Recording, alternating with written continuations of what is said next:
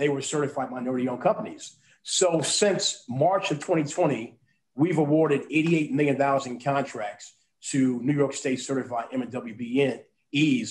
And the message simply was just because it was a emergency declaration does not mean that M&W and DB firms should not apply. We had to change the way that we did business to be more inclusive. Right. And I, I do want to get to uh, what you just mentioned, Michael, which is the outside impact of the pandemic on Black, Black and Latinx folks. Before I do, anyone else want to weigh in on the last question or should we move move ahead? I'll, I'll make a comment on the last question. Please, yeah.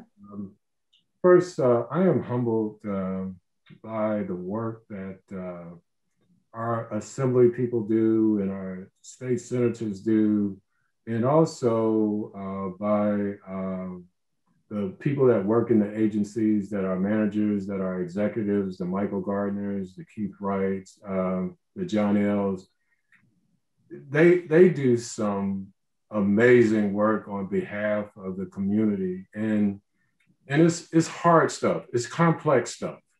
Uh, they deal with a lot of issues, and and and and they have to know so many things, and um, and, uh, and, and the other thing that I've, I've, I've come, and, and I say I'm humbled by it because the other thing is, is that I find out uh, they're so talented and, um, and they're so intelligent. And, and so, uh, give you an example, with regards to MBEs, we have to increase our uh, sophistication uh, when it comes to procurement and policy, right? We, you know, I'm a registered lobbyist, uh, and I have to take uh, tests every year with regards to uh, procurement and policy. And all these policies that are created to help MWBEs, and and and and and as Mike mentioned, we're in Black History Month, and and uh, we started in uh, New York uh, an organization called CBAC the Council of Black Architecture Engineering um, Companies, the Council of Black Architecture Engineering Companies. And uh, I would say that uh, one of the panelists, uh, Jonnel, was the one that recommended that we do that and that we organize so that uh, you know we get more involved in procurement, we get more involved in policy, and uh, instead of being reactive, uh, we begin to be more proactive.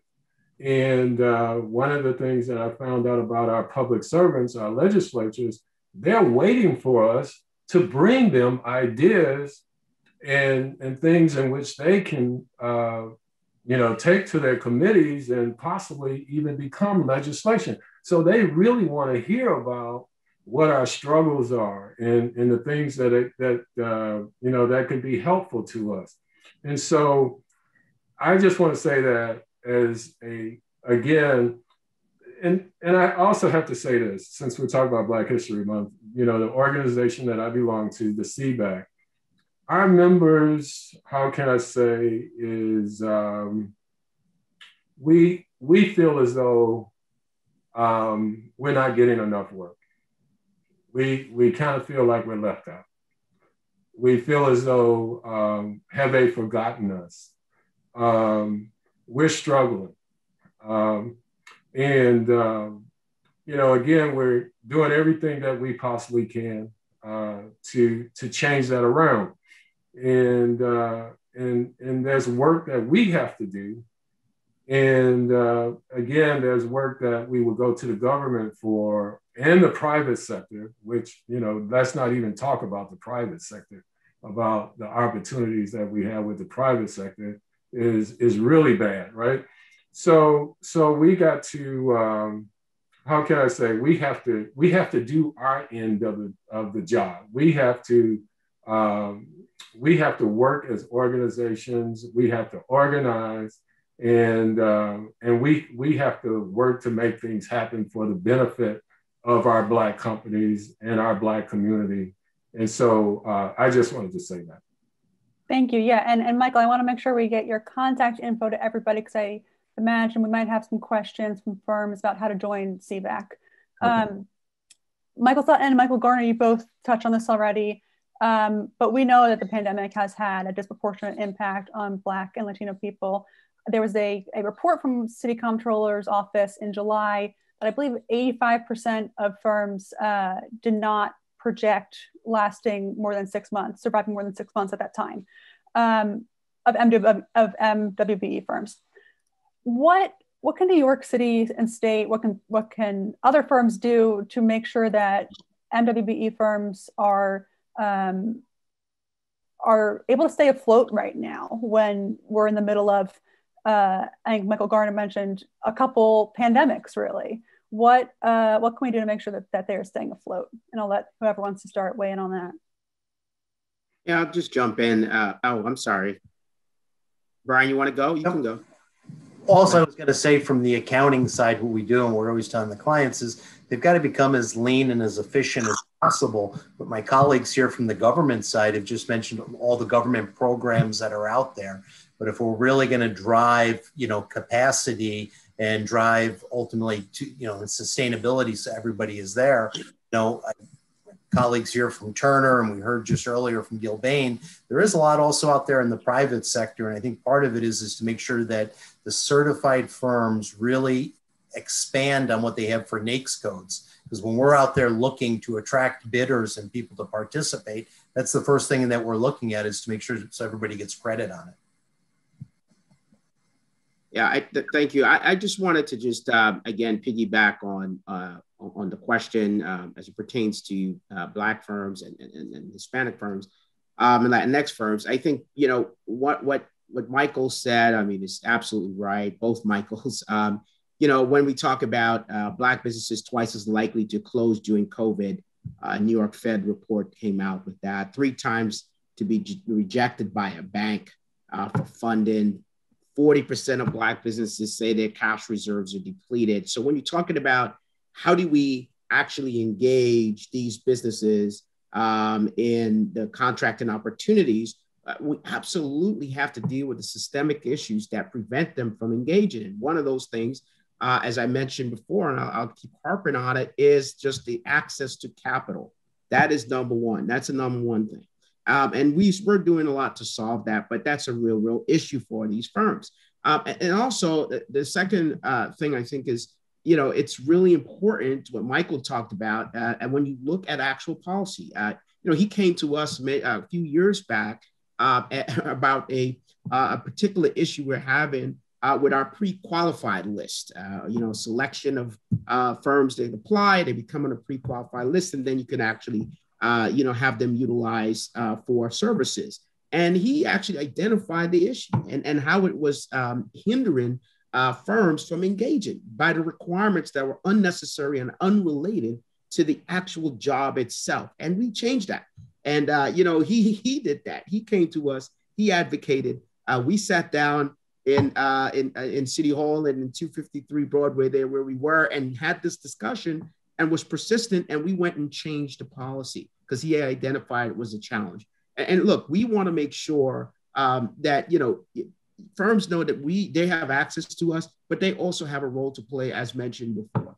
The other thing I will say is, as it pertains to Black entrepreneurship, we also know this that Black-owned firms in the city are growing four times faster than white-owned firms. We know that Black women, in particular, are the fastest growing demographic of small businesses in the country uh, but yet they only receive 0.02% of the uh, venture capital or VC dollars to establish their business. So there's a disconnect with talent uh, and there's a disconnect with the abil- ability uh, of these firms to grow. We've got to change those systems. We've got to change those structures. And so what we did was we launched the Black Entrepreneurship NYC program in the city, one of its kind. We uh, have a $3.5 million investment in the Brooklyn Navy Yard to build out an accelerator for firms. Uh, we joined with Ernst & Young and Goldman Sachs and MasterCard to produce uh, really state-of-the-art programs for uh, Black-owned businesses in partnership with the city to really grow their uh, capacity and grow their opportunities to engage. And the last thing I'll say is on uh, emergency contracting. Uh, you know, we heard that again. Again, during the pandemic, the city has awarded up to $785 million in contracts and payments out to MWBEs. We know that you just cannot have an emergency and then dismiss all the MWBEs out there from participating. So the city did make some changes. The mayor signed those executive orders and we made the adjustment, but there's still more to be done. And we need firms to engage. We need them to come engage with us to engage in our programs so that they can be equipped to actually get these contracts and survive through this pandemic, but not just survive, but come out on the other side and thrive. If I could just jump in from the from the private sector piece, uh, one of the things that we're trying to do a better job of is communicating, right? Is, is, is having those touch points with our stable of MWBE firms that we deal with. We tried to make a concerted effort that through the pandemic when the pandemic first started, making those phone calls, see how people are doing, uh, you know, see if they've had to let go staff, see if they've had to cut back just because of the pandemic, because those are some of those early warning signs of where some of our partners uh, may be headed if, if, if they're not, um, you know, given uh, opportunities to, to, to, stay afloat. The, I think the bigger thing, and you've heard it from our um, panelists that are working in the agency, you see all this great work that they've been doing, all these programs that we've put in place. You see the intentional action that has been put in place to break down those barriers to change laws, to change policy. Well, On the private sector side, those are some of the things that we are doing as well is that intentional action. Because one of the biggest things, right, the elephant in the room is there is still a stigma that exists that when you go award a contract to a minority or women business enterprise, it's a step down, right? You're compromising something, you're compromising quality, you're compromising performance, right? That is still a stigma that exist within our industry and in larger part within our society that if i'm going to a minority business i'm compromising something i'm getting less right? So one of the things that we in turn do the best thing that we can do either in this space of covid and even beyond is continue to advocate for our minority and women business uh, partners right? Give get our clientele get everyone in the mindset that this isn't a, a step down this isn't some type of um, uh, you have you don't have to relax the criteria or your standards in order to provide these opportunities to these minority and women businesses because they're more than capable and they have the opportunity. Uh, we've talked a little bit about some of the programs on the city level, even in the private sector. At Turner, we have an advanced payment program to try to look to see if making sure that we can uh, pay our uh, firms on time or even ahead of when we are paid from our clients. Again, creative ways in which we can look to uh, try to make sure that our firms are staying afloat. And Commissioner Doris touched on this point earlier, and you've heard it from Mr. Garner throughout his uh, conversation is the thinking outside the box, right? Coming up with new ingenuitive ways, uh, you know, employing different strategies to maintain our businesses and keep those businesses afloat. One of the things that we've done both here in New York and even nationally is look to joint venture with minority and women businesses, right? Because an agency, a uh, private sector client, uh, obviously they know the brand, they know the name of Turner. Now, if we can partner and we can uh, JV with minority and women business and business enterprises, it gives them the exposure on some of those larger projects. Uh, in Chicago, we're doing that with the Obama Presidential Center, right? We have a 49% stake within that project, and then 51% of it is allocated to multiple minority businesses on that job. Uh, here locally in New York, we had a, a, a, project in the Hudson Yards area for, for Ernst & Young. And there was certain minority and women business enterprises criteria that was laid out for that project. But we far exceeded that by, be, by thinking about ways and how we can split packages, how we can strategically place minority businesses in the uh, most positive and optimal situation for them. So uh, I think communication is key. We, we have to know where you stand. We have to know that if you're in trouble and you're and you're raising that hand, and hopefully you do it with enough time for us to actually be able to step in and do some things and actually help you recover, as opposed to you know when you know the proverbial lights are getting ready to go out. So we can uh, be proactive in providing some of those some of that assistance uh, to make sure our partners, you know, emphasis on the word partners, there, making sure our partners uh, stay in business and stay productive. And, and, would, and, and, Annie, Annie, if I, if in 2021, if I hear anybody uh, say that minority and women uh, do not have what it takes uh, in order to compete and winning contracts, um, they have a problem in their hands. You know, that's that's like going back to, to baseball. In 1947, Jackie Robinson um, was signed by the Brooklyn Dodgers. Did that mean that Jackie Robinson did not have the talent to play before 1947? No. It was he he was banned from playing in Major League Baseball because he was black. And so we got to uh, stop this conversation about the qualifications of certified minority owned businesses and women owned businesses because simply they have not had the opportunity.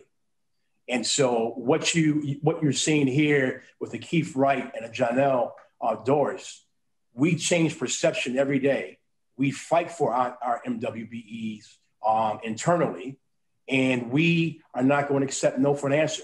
We're spending taxpayers' monies, and we're going to create opportunities for our M&W and DB firms. That's that's exactly right, and I and, and I would I would add on to that um, based on what Mr. Collins was saying uh, about communication, so important. Uh, relationship mapping, we heard that earlier, so important. But I I also hear right now to what uh, Michael Garner just said in the back of my head every day. I hear these words, the fierce urgency of now, and I don't have to tell anyone on this call where that's coming from.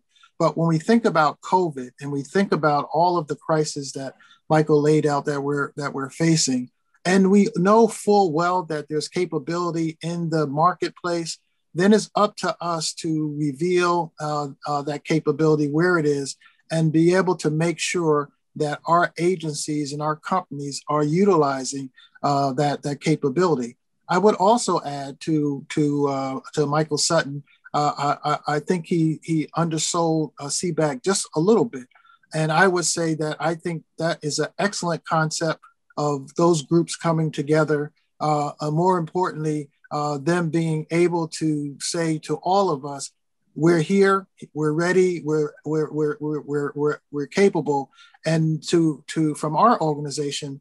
We look to the leadership of CBAC when we have things that we're trying to work through because we understand uh, the collective uh, talent that's in that organization. And it's my hope that, that that's just the beginning, that there will be more uh, CBECs coming together so that we will see uh, a bigger, bigger uh, uh, prime opportunities of, uh, that will be awarded to minority and women owned businesses. So I applaud you on, on CBAC. and I would just encourage you to keep telling your story but my takeaway for this moment with COVID and all the things going uh, is that there is a fierce urgency of now. Uh, and, to, and to speak specifically to one of the things we, we did uh, in our agency was any resource that we thought could be helpful to uh, the MWBE community, we send that out to them. And it doesn't matter if it comes from Michael's organization or Commissioner uh, uh, uh, Jonnel's organization, if we find information anywhere that is helpful to uh, the MWBE community, we package it and we send it out to everyone on our, our mailing list. Here's who's making opportunities here. Here's who's uh, providing capital. Here's who's doing uh, upcoming training. Here's what we're doing at the Port Authority. And so we just we broke through the walls and said, our community is in trouble. Any way we can help get information and resources to them, we're, we're, we're, we're going to do that because we, we are in a crisis uh, uh, together. Uh, and so we can't use yesterday's tools to handle today's uh, challenges. Thank you.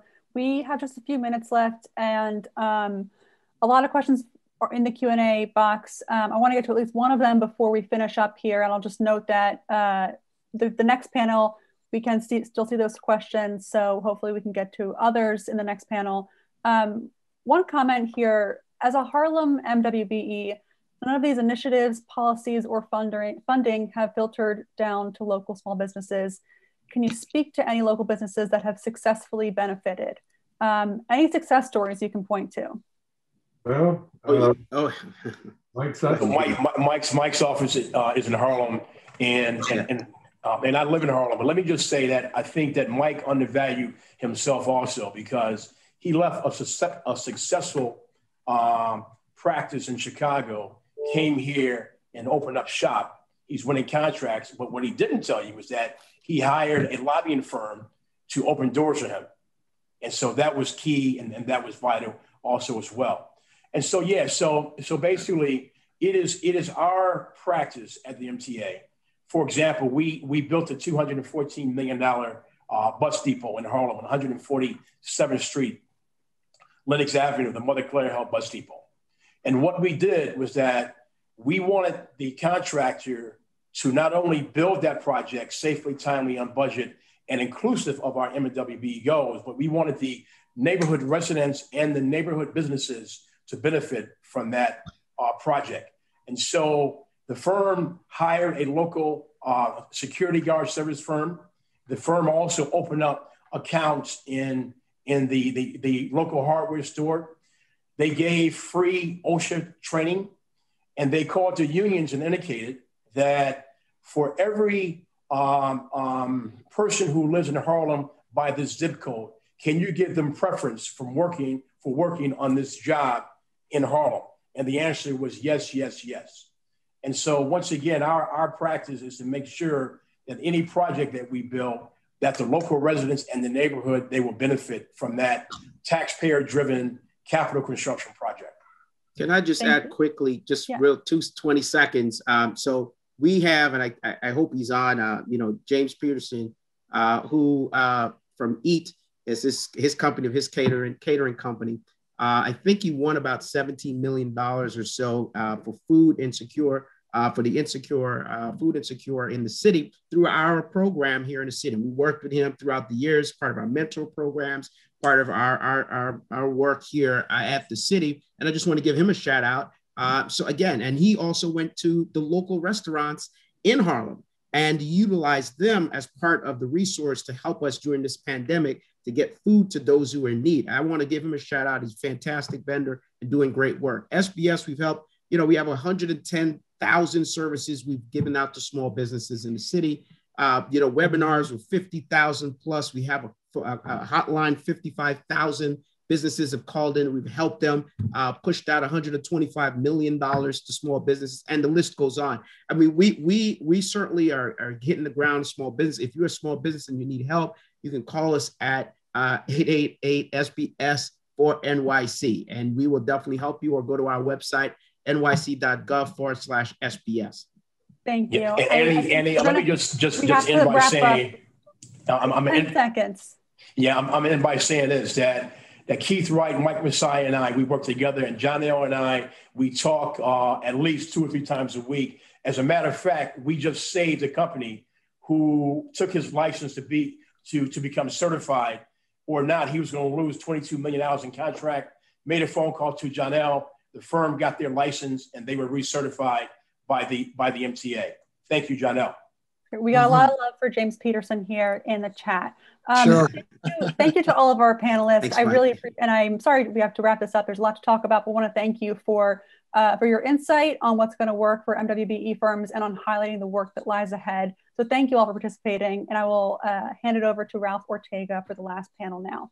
Thank you. Thank you. Thank you. Thank you. Thank you all. Thank you. Thank you, Annie, and thank you all for that really wonderful discussion. Uh, next, let me welcome our last panel, uh, Diversity in New York, and our moderator, Cheryl Huggins Solomon, Chief Communications Officer at the NYU McSilver Institute for po- uh, Poverty, Policy, and Research, who will be introducing the panel. Good afternoon, everyone. Um, that was an amazing panel. Uh, um, the whole summit has been, but the previous one uh, really had me wrapped. So um, it's a great act to follow up. But in this panel, we're going to be focusing specifically on um, diversity in workforce development in New York and why it's so crucial to the city's post COVID 19 recovery. And uh, my apologies if you hear a little bit of knocking and pinging. Um, construction unexpectedly happens sometimes when you work from home during a pandemic. So um, I apologize in advance, but I will try to stay on mute when I'm not speaking. Um, but anyway, so this panel is going to be a natural segue from the previous conversation since equity and business development and workforce development go hand in hand. So we're going to talk about the opportunities, the challenges, and how you can be part of the solution. And when I talk about diversity and inclusion, I always want equity to be a part of that conversation. And so we're going to be um, making sure that we talk about that um, because um, people, um, women, people of color, people from marginalized communities, we all deserve to be a part of the workforce and especially the recovery. Now, as the New York Times reports, women have borne the brunt of the pandemic's effects on employment and childcare resources and are disproportionately among those who dropped out of the workforce last year, and particularly uh, Latinx women. And we also know that according to a report by the comptroller's office, nearly one in four New Yorkers of color wound up losing their jobs at one point last year during the pandemic. Um, and the recovery has been very slow. And that was 10 percentage points higher than what white New Yorkers experienced. And that was on top of prior racial and gender inequities in employment and wages. Uh, for instance, according to a report last year by the Center for an Urban uh, Future, Black people make up 21% of the overall workforce, 22% of the overall population, but less than 10% of those in well paying jobs, uh, the kind where you might get to work from home um, such as advertising, the securities industry, publishing, computer systems design, and motion pictures and video. And only 13% of legal services and 16% in construction, again, compared to being 21% of the workforce. And as you heard in the prior panels, businesses owned by people of color, women, and other marginalized communities are also in danger of getting left behind so this affects job creation in these communities. It all goes hand in hand. So the experts gathered for this will tell you how that what they are doing to increase diversity in our city's workforce, how supplier diversity goes hand in hand with that. With that, they are, and please turn on your cameras, um, Dawn Pinnock, who is Executive Deputy Commissioner for People Operations at the New York City Department of Citywide Administrative Services. She maintains citywide oversight of services provided to HR, equal employment, diversity and inclusion uh, departments at every agency. Then we have Matilde Roman, who is Chief Diversity and Inclusion Officer at New York City Health and Hospitals. She leads, designs, and directs diversity, equity, and inclusion integration strategies and solutions for the largest municipal healthcare delivery system in the country we have Holly Martinez, who is Vice President of Diversity and Inclusion at T Mobile. And she is the company's first executive in that role and is fervently committed to sustaining an inclusive workplace where all employees can thrive. Uh, B. Is the Senior People Growth Manager for Women and Underrepresented Talent Development at DoorDash, focused on connecting these populations to the innovation economy. And Kristin Malek is the Director of Business Diversity at CDW, where she drives the information technology company strategies to achieve supplier diversity objectives. So let's jump right in for the first question. And please, um, and I'll call on you one by one, um, but please let us know how your office advances diversity and inclusion in New York City's workforce. And this is an important part Please also talk about how you quantifiably measure success in your work. And I will first ask Executive Deputy Commissioner Pinnock. Good afternoon. Thank you, everyone. Um, so we advance uh, diversity and inclusion in a host of ways. Um, as you mentioned, we essentially provide um, support, technical assistance, guidance, training, and oversight to the nearly 80 agencies that report to the Mayor of New York. And so in doing that work, a lot of our work really centers around ongoing engagement, education, and communication. And so with that, we provide uh, very specific training around how to use workforce data and then address underrepresentation. So in the city of New York, we have a little over 2,000 titles, which sounds unmanageable. And frankly, it can feel that way at times. But we do have workforce data at our fingertips, and we provide direct guidance and training on how to best use that information to really drill down to those key areas where we should be creating a more diverse pipeline.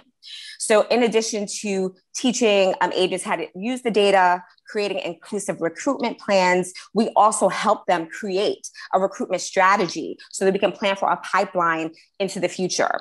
Um, the city of New York is a civil service municipality, so which means that our system is test based. So, as you can imagine, um, we have to be extremely proactive as it relates to our communication and our recruitment strategies because in many instances we need to market a job before it actually exists. So that's the reason why the data that we use is just so important. Um, additionally we ensure compliance with any um, eeo um, or equity related laws to ensure that all of our agencies are really creating that level playing field in every aspect of their hiring process in terms of how we measure success, um, we do that um, quantitatively and qualitatively. Um, certainly, we track um, the number of test takers we have at any given time. If our goal is to ensure that more women are applying for jobs, we look at that data. If we're looking to tap into um, specifically more Hispanic women, Black men in a particular job category, we track all of that data from the time that they apply for an exam until someone actually um, is selected for a job through civil service. But on a qualitative level, um, we certainly um, look at engagement. Um, there are a lot of things that are happening within the city that are really, really interesting right now, specifically talking about how you really create a diverse and inclusive workplace culture where we've provided training on unconscious bias, microaggressions. Um, we've started to um, establish task forces at different agencies where we're talking about race equity, really having those courageous yet uncomfortable conversations. Um, and so all of that goes hand in hand with creating a workplace that um, communities of color, women, um, those individuals who are underrepresented in the workforce would want to apply for and be a part of. And, um, and let me ask you just a very quick follow up. Um, so, on a macro level, what is the workforce data, uh, the data that you're tracking, um, telling you uh, about um, women in the workforce, um, people of color in the workforce, uh, uh, and other marginalized communities? That's a great question. So, definitely, we see that more women and more members of the BIPOC community gravitate towards our social services. Um, and when you look at some of the salaries specifically within those jobs, um, sometimes they're starting off at a lower floor. So, in those particular areas, we're looking for opportunities um, around career advancement, how you actually teach someone how to navigate their civil service career. Um, conversely, we're seeing fewer women um, and members of the BIPOC community potentially applying for some of our uniform titles. And so there's been quite a bit of work that um, our uniform agencies have done to engage in recruitment strategies. And that's where our Office of Citywide Recruitment comes in. We have partnered with a host of agencies, whether it's um, Department of Transportation, where they're looking to hire more women, more people of color, Department of Buildings, where we work directly with them in creating inclusive recruitment strategies and in some cases marketing their jobs for them um, in order to really highlight the benefits of working within government and at that particular agency. Thank you so much uh, for those Thank you. insights. Um, I will now ask um, uh, Matilde Roman. Thank you. Um, I'm so happy to be here in City and State and, and be among these distinguished colleagues to really have this conversation. Um, I think these conversations are needed more often than not, and, and having this panel is really indicative of of city and state's commitment to really bringing this conversation to the forefront. Um, here at Health and Hospitals, um, you know, we are the largest municipal healthcare system in the country, serving 1.1 million New Yorkers annually. Um, and as you all know, you know, we're in the midst of COVID uh, research um, and has provided a number of challenges for us. It really has amplified you know, the disparities and inequities that exist um, structurally um, and institutionally. Um, and so part of the work that I've done is kind of really kind of work with business partners across the system to really help kind of mitigate um, some of these systemic issues um, and help support and drive and advance diversity and inclusion across the system. And how we do this is through three things to be looking always at workforce diversity, ensuring that our workforce reflects the patients in which we serve. Um, we serve, you know, the most marginalized and vulnerable communities. We are the safety net for the city of New York. Um, and so it's very important for the people that work in our system to look like the people that they're serving um, and connect with them in their lived experience. Um, we're looking at this from a workplace inclusion perspective and really kind of thinking through, you know, for, for us, how are we really making sure that we're creating an inclusive work environment for our colleagues and creating an environment where people feel like they belong and are respected and valued when they're coming to work. We're a very mission oriented organization. And so that the, the, the, the, people that come to work here are really guided by our mission. Um, and it's really cultivating uh, the tools and techniques and, and, awareness to really ensure uh, that we're kind of creating a, a, more inclusive environment for everyone in rank and file. And then the last thing I think that's really important, distinct from many of the city agencies, is that we're patient centered. And, you know, much of the work that we do is really ensuring that we are customizing our services to meet the needs of our diverse communities in which we serve. Um, and that speaks to, you know, language access, cultural competency, you know, really building capacity for our frontline and healthcare professionals to really build their capacity to provide culturally competent and linguistically appropriate services. Um, and so that's some of the work that we do. And then segueing into the metrics, the metrics vary. Um, so we'll be talking about, you know, language services with respect to patient care, you know, the, the numbers of languages, our capacity to meet the needs of our linguistic, uh, linguistic population is really at the forefront of ensuring that we are providing quality language services to br bridge those communications between providers and patients. When we're looking at you know, workforce diversity, we're looking at the numbers of our, you know, African American, Black, Latino, Hispanic, Asian, you know, Native American populations to make sure that we are you know, keeping true to ensuring workforce diversity and that our workforce reflects the patients in which we serve. And when we're looking at inclusion, right, all the DNI indicators, whether it's embedded into our employee engagement you know, surveys or other key things that we measure kind of the employee experience, we're always looking and trying to use the equity lens to think about how we're measuring success and how we're, we're trying to figure out how we move and progress in this space. Thank you. And, I want to dive a little bit more into the COVID uh, challenges in a moment. Um, but um, right now, I would like to ask um, Kristin Malek if she can um, talk about how her role is advancing diversity and inclusion in the workforce. Of course, and good afternoon, and thank you so much to my colleagues and, of course, City and State um, for always providing relevant content, meaningful conversations, and course, being a good partner to CDW. So, you know, my role at CDW as the Director of Business Diversity um, is really to ensure that the supply chain is one of equity, one of equality, and one that's diverse. So, you know, where I sit and the, the goals and, and what I'm accountable for in the city and state are to ensure that when we are serving our 365 clients and agencies in the city that we are bringing the MWBE community with us, the innovators, the startups, the entrepreneurs, and how the multiplier effect really comes to life here. So if you think about workplace, workforce, and supply chain, they can no longer be siloed, right? We can't have a, a workplace that's diverse and a workforce, you know, that's of culture and acceptance, and then not procure or not spend money or invest with MWB community. I think we've heard that loud and clear from the two prior panels. It absolutely matters where we spend money because money does matter, right? Money matters if the doors are open. And so, you know, where our, our footprint is, is, you know, the well over $100 million directly spent with MWBEs to serve New York City, especially in healthcare, in education, working on the digital divide side by side is ensuring that the MWB communities that are historically sidelined are not, right? We are not in the business of competing with MWBs, we are in the business of collaborating.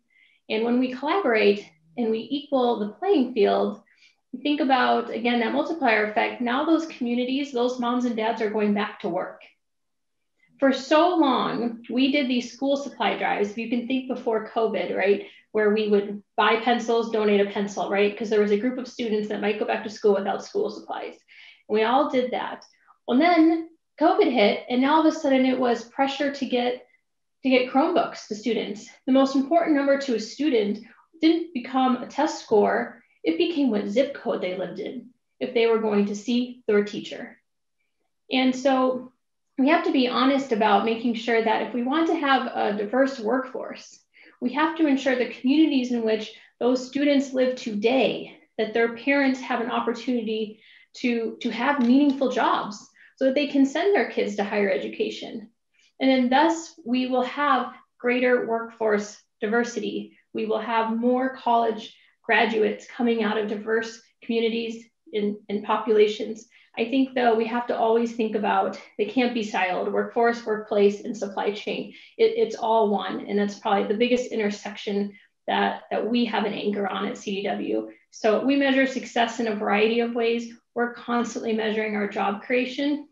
Supplier diversity, I think, can habitually be thought of like a spend initiative, right? What's the spend? What's the percentage? And those are landmarks for success but if we can challenge ourselves to not be focused on a spend initiative, because we won't spend our way to justice. We might all want that, but we can't spend our way to justice.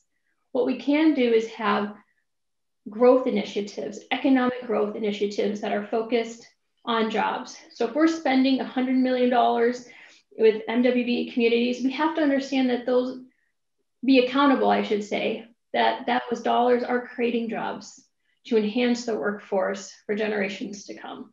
And so that's what we measure. We do track spend and we're held accountable to the goals that we kind of heard from the other panels. Um, and it's not a number to hit for, at all. It's, it's to ensure that um, the multiplier effect stays present because the workforce um, you know, can't be sidelined, the supply chain can't be sidelined ever again. So that multiplier effect is important. Um, but when you talk about spend, you mentioned 100 million. Is, is, is that the number uh, at CDW or is, um, um, what are the numbers that you're tracking there? Yeah, absolutely. So we hold a number of contracts in the city and state, and, and there are, as we heard probably in the first panel, there's 20% contractual goals, aspirational 30% contractual goals. So we, you know, we don't look at those. I think it was noted it's not a compromise when we never ask for a pass. We won't ever find that. Or, but so we do track uh, what we're contractually obligated to, right? That's just probably best practice and standard. Um, but when we talk about hundreds of millions of dollars that we're we're spending with New York City's MWBEs, you know, that is intentional spend. That means that when we we're procuring for for uh, an agency, for the mayor's office, that we're bringing an MWB with us. And we track that spend, but making sure that it's not just spend, that we can use third party validation and Department of Labor to ensure that we're tracking to jobs. So we do track spend, we try to track our job creation as close as we can to make sure that we're moving from just procurement to meaningful procurement and sourcing to impactful sourcing. So that's where we believe jobs can be created. Thank you. And and uh, Holly Martinez. Yes. Uh, so the question is um, your position. Uh, how is it um, uh, contributing to diversity and inclusion in New York's workforce? Happy to talk about that, and um, it's a pleasure to be here. And, and one thing I think um, that is so impactful about being here with each of you is that as a practitioner, we have our heads in the work all the time. And so to lift your head up and connect with others who are doing this, it's just incredibly inspirational for me to hear what others are doing. So thank you for having me. And I, I really appreciate, and I'm learning from the other panelists as well. So um, in order to talk about what we're doing as a company, it's you can't i can't talk about it and separate the fact that we just went through a major merger with sprint and so as a new fortune 40 company we've had to um, really take stock of who do we want to be from a lens of diversity equity and inclusion as a new company and so we took a step back and evaluated how do we want to leverage all of these new resources that we have as a combined company? So the first step that we did is take a, a deep look across the entire organization, every aspect of how we do business from the lens of DE and I. So we took a look at how are we um, interacting with our employees, our customers, our suppliers, our partners, our communities, and how are we showing up? So, what's important about this is that it's a broad stroke look at every aspect of how we are doing business from an equity lens. And from there, we're able to understand what are the pain points and opportunities that we have as a new company to lean in and understanding what the new reality is as a company so we can leverage it. So, um, you know, one of the things that we did, and I can speak a little bit to specifically New York, through the process of evaluating who we want to be, we have established a, an external diversity council. So we have deep partnerships with the National Urban League, uh, the New York Urban, Urban League. Marc Morial is the chairman of our uh, diversity council. We also have Al Sharpton, who represents, of course, the National Action Network, and he's on our council. We also partner closely with Somos, who represents the Hispanic population in New York State. So we're looking at those partners who can help us specifically in New York, but also national partners that we can um, work on deepening those relationships and making sure that we're bringing equity into every aspect of our, of our business. Thank you. Can you talk a little bit with that external council? Um, can you talk about specific things that uh, perhaps that they have um, suggested or pushed you to do? I love this. You know, I, I love the fact that um, first of all, Marc is, is such a tremendous partner, and he's a great partner to, to me in this work. And one of the things that we've done is we've evaluated, you know, the new diversity strategy that we're putting forth as an organization. We've done some deep dives into the work and programming that I can I can talk about a little bit later, and talk through some of the specific initiatives that we're developing. So the the council's been a great partner and sounding board as we have looked at how we build our our strategy strategies and the, the different work that we want to build in our workforce pipelines, et cetera. So they've just been really good partners. Thank you. Thank you. And we are going to talk about pipeline development. So um, thank you. Um, I'm going to ask BLA now if you can talk about DoorDash and, and your role in promoting um, diversity and inclusion in our workforce. Absolutely. Thank you for having me. I'm just in awe. I'm like taking notes of what everyone is saying. Some like you you won't spend your way to justice. That was phenomenal. Um, but anywho, in terms of like how we think about diversity, equity, inclusion at DoorDash, um, specifically in relation to like partnering with the in supporting the New York workforce. Um, similar to what Holly said, we think about embedding diverse DEI in everything we do, right? So DEI is not just like on an island on its own and you kind of touch it when you need it. We're making sure that it's a, it's, you know, threaded into everything we do. And so, with my role specifically, I'm on the learning and development team, but I have a particular focus on women, uh, women of all backgrounds and underrepresented talent development. Um, so, I think we take a dual approach, like thinking about how we are maintaining and developing like good DEI hygiene internally, and then externally, we have we actually recently brought on a DEI DEI partnerships person um, who's focusing specifically on helping us scale our partnerships with organizations. To date, we have um, partnerships with organizations such as Year Up, Code 2040, Management Leadership for Tomorrow, and these are all national organizations with hubs in New York. But we have we definitely have opportunity to be more intentional about how we are activating the New York communities.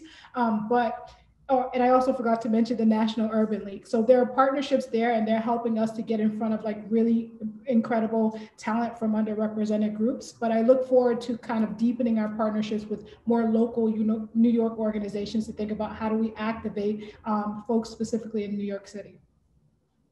Thank you. And B, I'd like to ask you um, a follow-up question. Um, being with DoorDash, people of color are overrepresented in temporary gig jobs. So, um, how is DoorDash developing the pipeline to corporate positions? Absolutely. So we actually are in the, we're celebrating Black History Month, as you can tell by my background. So we've actually been hosting some events that are merchant facing to help them get the resources they need to support their their small businesses. Um, but also we have we have councils for the dashers. So the dashers are um, who I presume you're referring to. So we have a dasher council where we're able to kind of get insights on what what are their needs, how we can best support those count, our folks who are dashers, and being able to design initiatives around that. So we have an in-house dasher team that stays close um, to thinking about what are the needs of our dashers and how do we support that. In terms of creating pathways um, to you know internal mobility, I think that is something that we're still scaling out and being able to assess out what the opportunities are, but I think short answer is the Dasher Council is our opportunity to making sure that we're providing support and resources and development opportunities for them. Can you share any insights that the Dasher Council has given you? Yeah, I well, I know one insight specifically thinking about um, there were there was a there was a point in time when there were some particularly black dashers were having negative experiences right? And so the one insight there was like okay how do we support black dashers on the platform specifically? So being able to cultivate or take that insight and take take basically have a bias for action from there. So they were able to convene a specific support group for Black Dashers. Um, so I think that's one particular initiative. I'm not too close to that body of work. Like I'm focused more on internal and internal learning and development, but I know that body of work is happening. Okay. Thank you. Thank you for that. And so um, let's see. We have about 10 minutes or so um, to continue this moderated discussion, and then I'm going to open things up to questions. Um, I'd like to come back um, to Executive Deputy Commissioner Pinnock um, and really talk about as um, the city navigates its way through and beyond the pandemic. Um, what are the benefits that we can actually see uh, by developing a more diverse and inclusive workforce? Like how do our communities, but how does the whole city benefit? Well, I certainly think that um, the most visible benefit that we've seen is that um, a host of the recovery work is being done by Black and Brown people. Um, I can certainly say within my agency, you know, the the the heroes right now, and, and I tell them all the time, are our folks who work in our custodial space, um, the folks who are making sure that our spaces remain clean, that our elevators are running, that um, that our spaces are prepared for a time when staff are able to return. Um, I certainly think that it has um, highlighted the importance of that work, um, and um, certainly, you know, I and, and I hope that someone from my agency is listening today, you know, because I certainly take my hat off to them. Um, they are working under conditions that many of us don't have to. And so, one of the things that we've done really to better engage that team, and we provided the same guidance to other agencies, is really thinking about how we, through this virtual environment, can bring folks closer right? Um, we really want to ensure that all of our employees, um, especially those working on the front lines, um, maintain their mental resilience, but also their physical health. So we've done things like um, created um, small palm cards they can put in a wallet to remind them of EAP services because you know folks are dealing with a lot mentally, a lot physically, and so the Employment Assistance Program in the City of New York offers a host of services um, that they can tap into as city employees. We've also reminded them of health benefits. Um, in dire situations, we've reached out to families, we've sent wellness cards. And so, what we're trying to do is, you know, um, replicate even a, a more closer environment because I think that the pandemic has certainly had us all fully recognize that we are dealing with whole people. The days of you come across that threshold into a work environment and you leave your personal life outside we are no longer in that time and we probably will never return to that place again. And so we're really thinking about how to take a more human-centered approach to working with all of our employees especially those who do not have the luxury of working from home and who are really supporting the city in a major way. And um so we're talking about the pandemic's effects. It's the effects on um, frontline workers certainly essential workers. Um, but um, and there's also a digital divide right um, so as we talk about um, growth of jobs that maybe not, maybe remote, right? um, because that's an important thing in this recovery and not being shut out of that. Um, how is the city and how is your agency uh, uh, uh, addressing that? You know, at, at a time when, um, you know, it just seems that Black and Brown communities are getting left further and further behind, even like I said, with the digital divide. So we've certainly um, in one space have tried to optimize the use of technology where appropriate. But we have also returned back to back to the basics. I mean there was a time when you printed out flyers to share information. You shared information through word of mouth targeted mailings. We've had to return back to some of that. And while i know that some individuals may view that as wasteful you know we really want to meet individuals where they are. We've also um, strengthened a host of partnerships with community-based organizations who are working boots on the ground faith-based organizations um, that actually know exactly where we should tap in to alert folks to jobs that are now available in the city. Um, I don't think that there's any surprise that you know that the city financially has you know suffered a bit of a downturn, but there have still been opportunities, you know, specifically because of our recovery efforts that have continued um, to be made available. So um, at the time where um, NYPD needed to um, really cast the widest net possible to get police communication technicians because we have more emergency calls coming in. We were out there and we worked with individuals to inform them of this job and, and of the opportunities and the advancement associated with coming in at that level in the organization.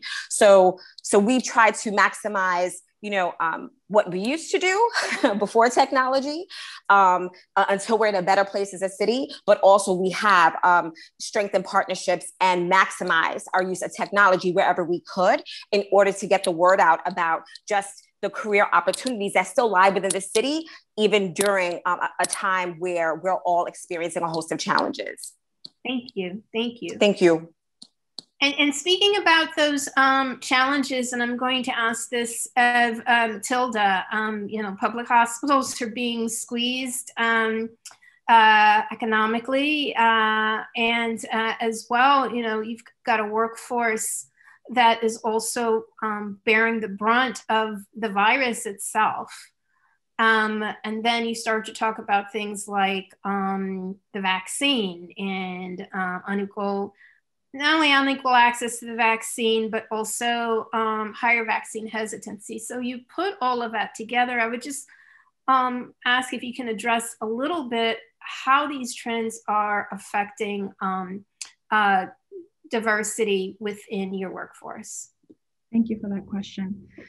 So I think there's been, you know, you know, health and hospitals has been um, at the forefront of this pandemic. And as you all know, Elmhurst Hospital, which is part of the health and hospital system, was the epicenter of the pandemic during March. Um, and, you know, the system, you know, our mission is to provide care, quality care for everyone, for, you know, without exception. Um, and we've stayed true to our mission. And, you know, thankfully, this administration has um, really been supportive both you know by from a resource perspective and just being thinking about how we can innovatively address uh, many of the challenges that we face to ensure that we cared for every single individual who came through our doors. Um, and you know, for us, you know, it created a great strain on our healthcare workers, um, and inclusive, right, to Dawn's point, you know, those who we, you know, are key to uh, hospital operations, environmental services, food service, transportation. So these were individuals, right? You think about doctors and nurses, but you know, we also need to recognize the unsung heroes in this space. Um, in the fact that there were people who had to come in, right? Because we are a 24 hour, seven day a week operation to provide critical services for hospital operations. So administrative staff, you know, we were all, it was all hands on deck um, regardless of you know our roles and sometimes we had to reinvent our roles in order for us to be able to function and ensure that we were providing care to our patients right? So you know, that was, you know, providing supportive services like, you know, pulling up childcare services, creating lodgings, respite areas, you know, offering wellness programs, um, opportunities for people to decompress, right? Ensuring that individuals had the appropriate supplies like PPEs. There was a gamut of challenges that we faced um, as an institution. The one thing that I must say is that we all banded together and we rallied together to ensure that, you know, we were doing what we needed to do. And I always get regret when I think about where we're at. But it was true. Like we were in the midst of a pandemic and it was like, and we got together and we did whatever we needed to do to do what we had to do. But that being said, it's really important for us to really think about the fact that our workforce really is, you know, all of them are heroes in this space um, because of what they did. Um, and I forgot your other question because, of course, I'm just thinking about everything that our workforce has done, and I'm so very proud.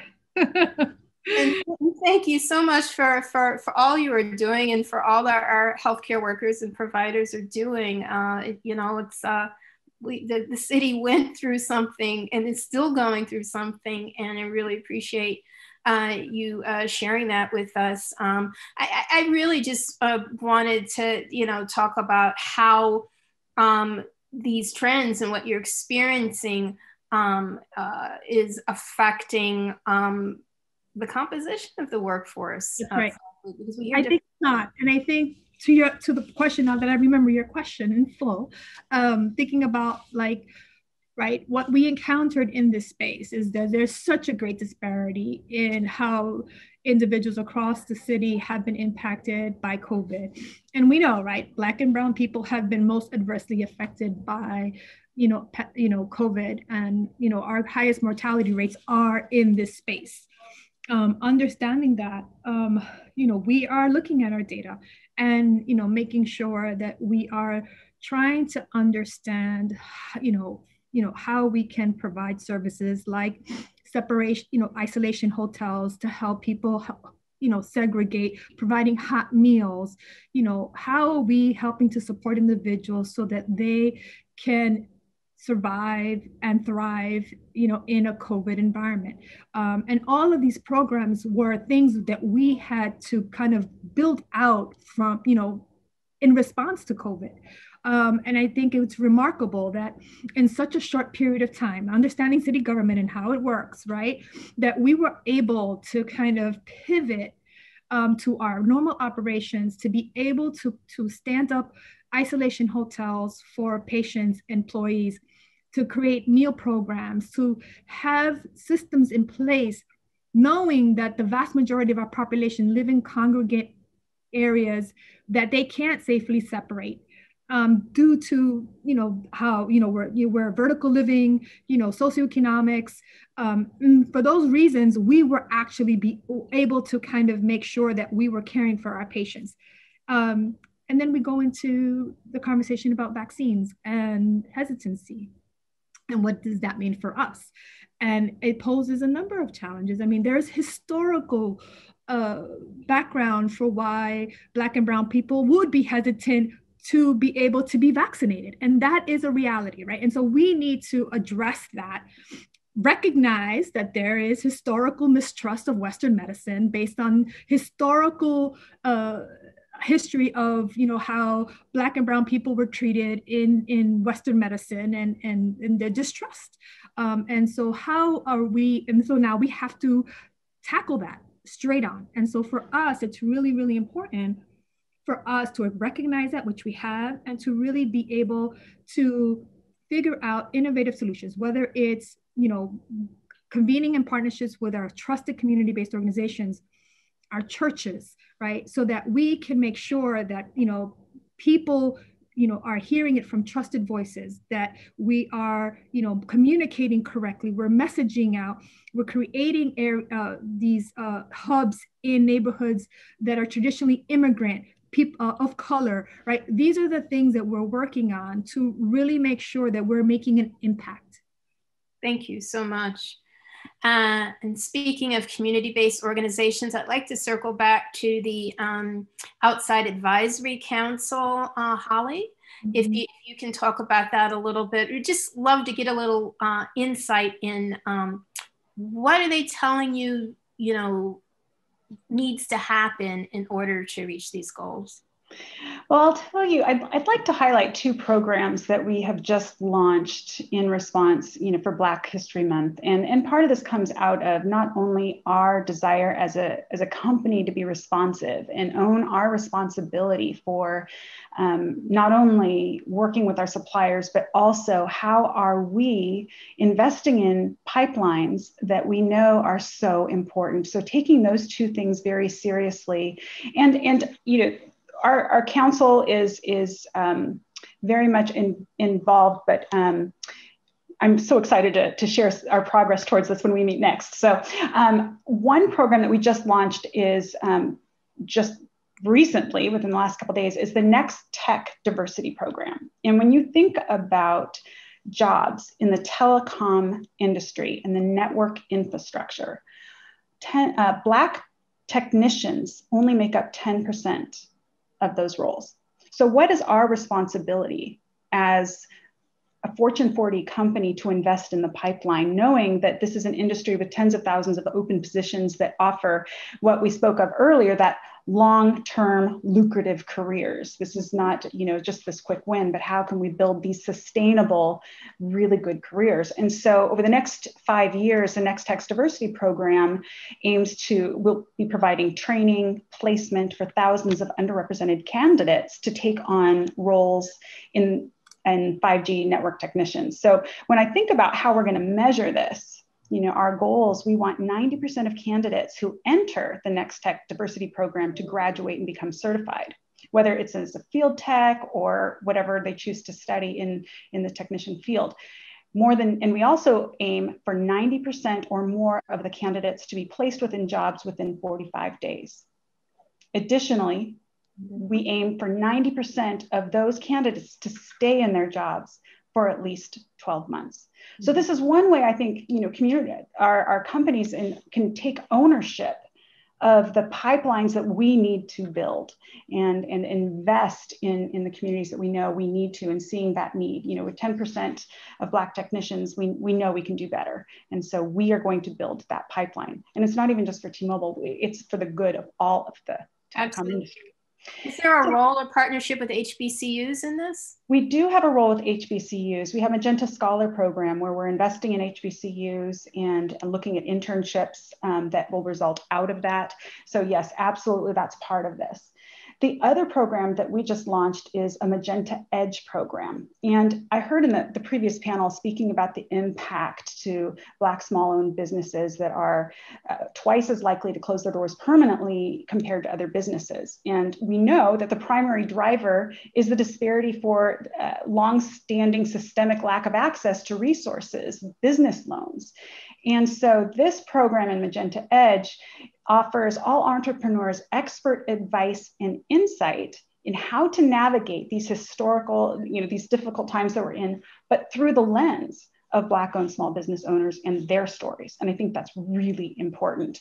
So, what we're going to be providing is free educational programming, best practices for entrepreneurs, how to address systemic barriers that Black small business owners face and how to succeed.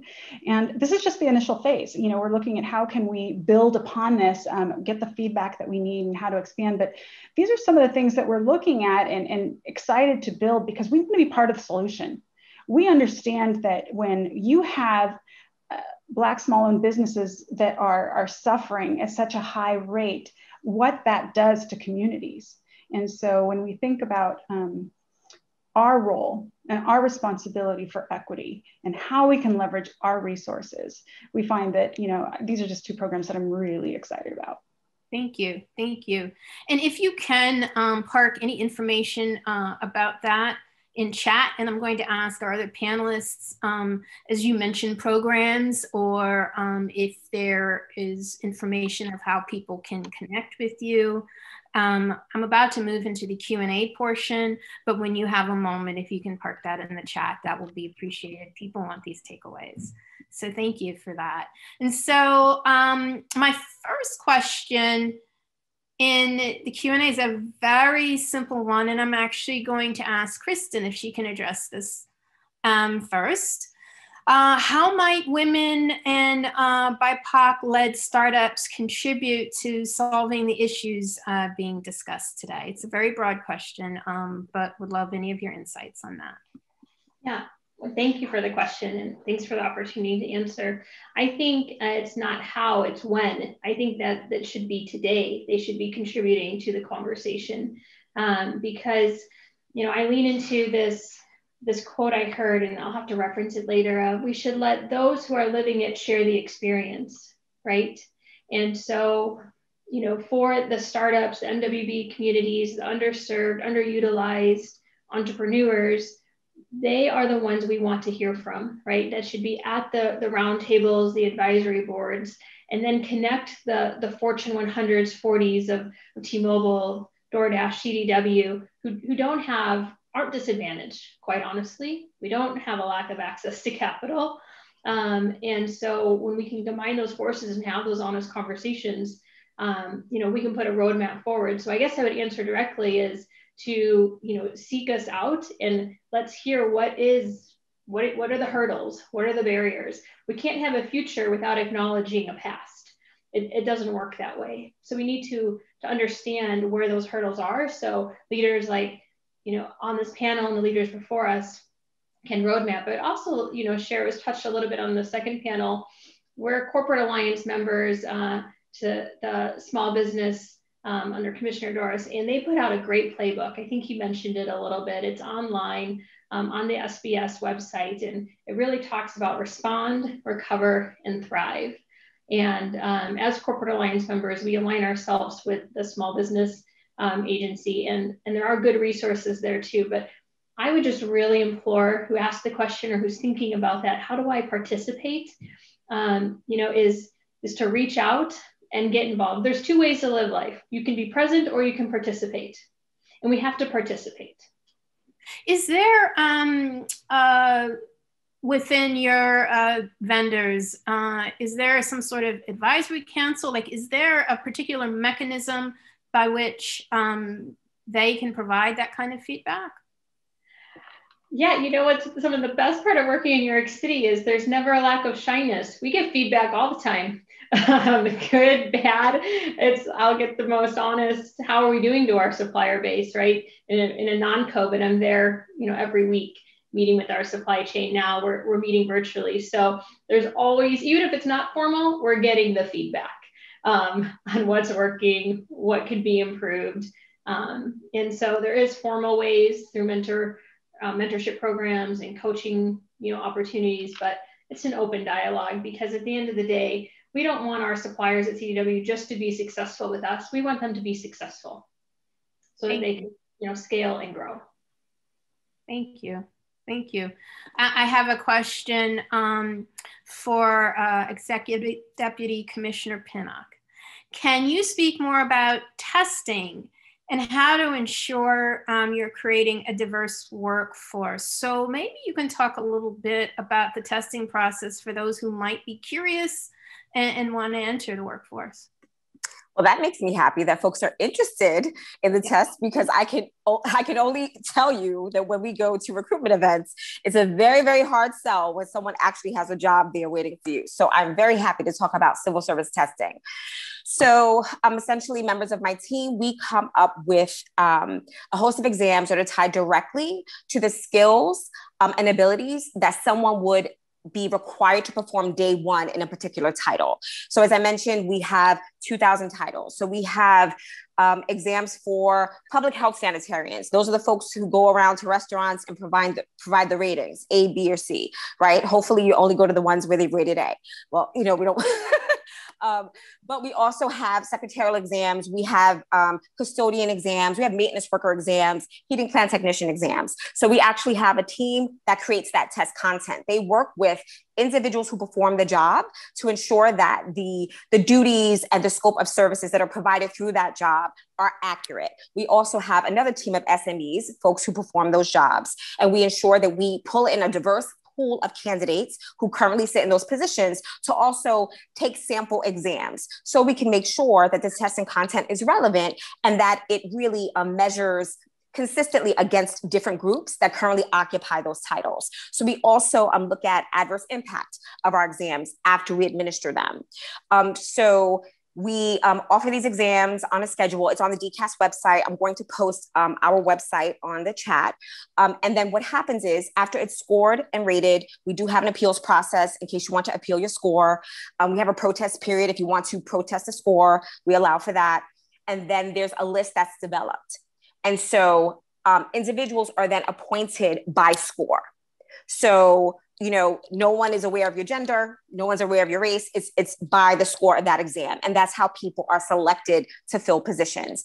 Agencies that have vacancies would call from those lists, and they would make appointments in what we call list order, which means based on your ranking. Um, and so we go through that process because we want to make sure that we um, really hold true what civil service is about. And it's supposed to be about merit and fitness. I can tell you a personal story. My both of my parents were civil servants because as two brown people, they were unable to get a fair shot. And they saw civil service as really being that pathway towards equity that allowed them to be first time homeowners and to put my sister and I through college. So, um, really, th- the system is based on merit and fitness. The challenge is is that um, the lists sometimes you know we would have them in existence for maybe one to four years depending on the hiring need. And so depending on what your driver is as you're trying to go into the world of work that may not be something that works well for you. You may want an immediate job. If that's the case we do have 15% of our jobs are actually what we call discretionary, where you go through a traditional hiring process where you submit a resume and there's a standard interview, you have a diverse panel of people who interview you, and then you could be selected or, you know, or rejected for that particular position. Thank you. Thank you.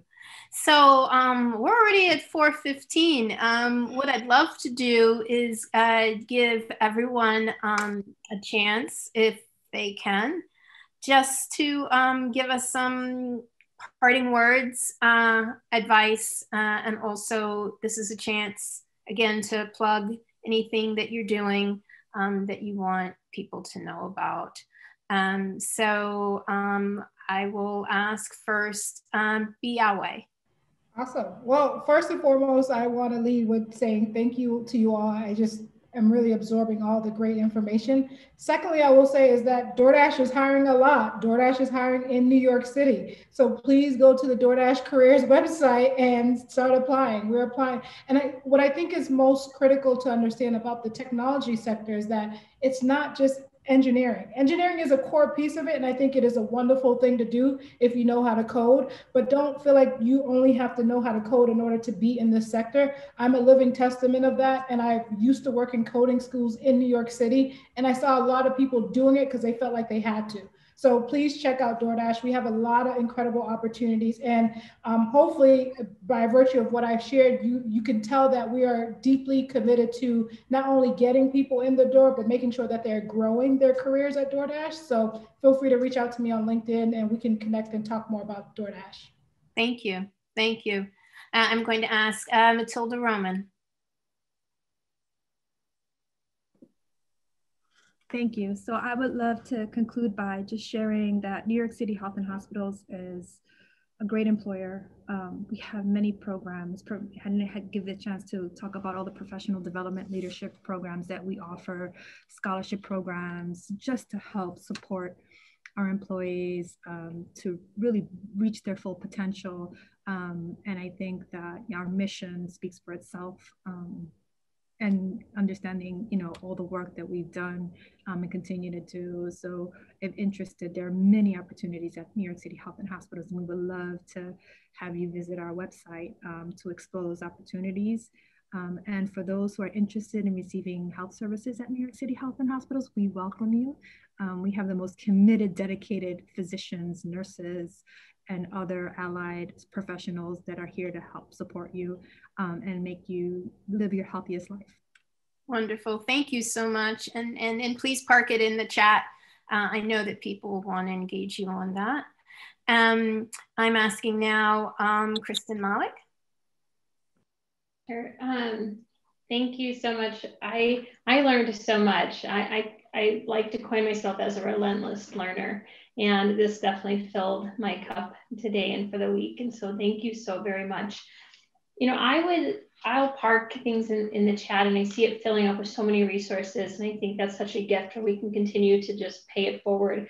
But I guess I would end with saying or conclude is that, you know, when we look back to, to either in a month or three months or six months, whatever it is, right? Um, I think disruption has to be just common now and expected. But when we look back, I would just challenge us all to, to be able to say that we did our part.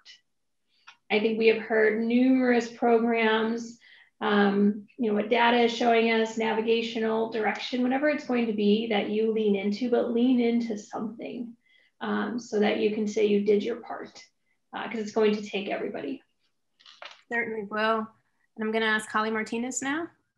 Sure, thank you. Um, and I also want to say that we're hiring in New York City. We are hiring, we have technology roles open right now on our website. I'll get you the link. And we also have roles in business to business that we're hiring for right now. And so really want to make sure that, that we see that.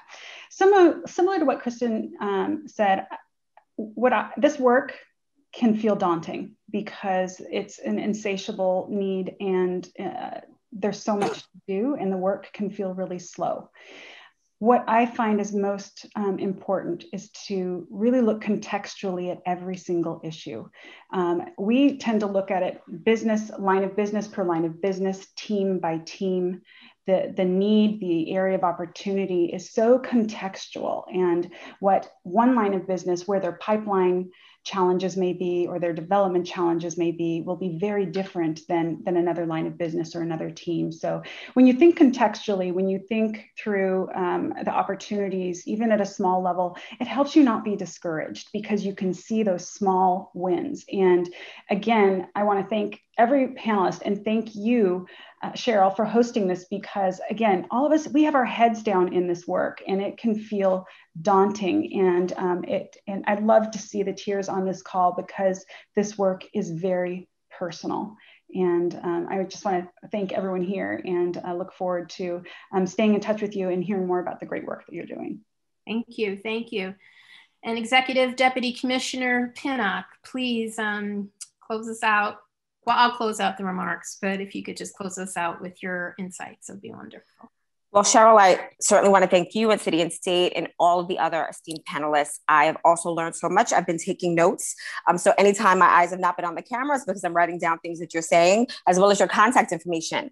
Um, what I would say is that um, New York City is a great place to work. I've worked within the city of New York at this point at five agencies for 24 years. And I never thought I was one of those folks who came into the city saying, after two years, I'm gone. But if you are someone who is interested in doing work that lives beyond you and truly contributing to the betterment of New York City and the life of New Yorkers, the city of New York is certainly the place where you should work. I also just want to quickly plug Matilde because the communication strategy that H&H um, released after after the murder of George Floyd and talking about race and equity and how important it is to honor the lives of Black and Brown people. We borrowed so much from that really courageous strategy, and that really has been incorporated into our work. So I just want to say thank you to you and your teams. Um, and lastly, you know, our information is in the chat. Um, DCAS, we have touch points at every agency. Please reach out, reach out to me directly if you have any questions about how to navigate a civil service career. And I thank you all for your time today. Thank you.